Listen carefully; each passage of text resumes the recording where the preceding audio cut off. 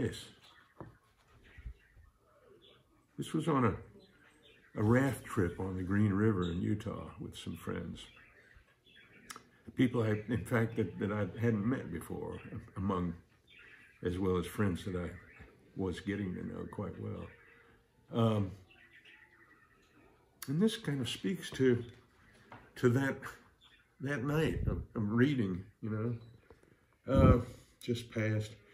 So the banks of the green, a planet born this night, an astrological entity, will rise from this place into our sky with its own life and move forward from here in its own cycles, affecting our lives in its orbit, its return, and bring us unannounced moments of unreasonable happiness.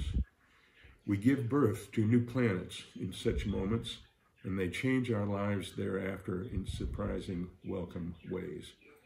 Go forth from here, lovely orb, new, tender, cheerful force, and remind us of the family we suddenly became at the festival of your arising.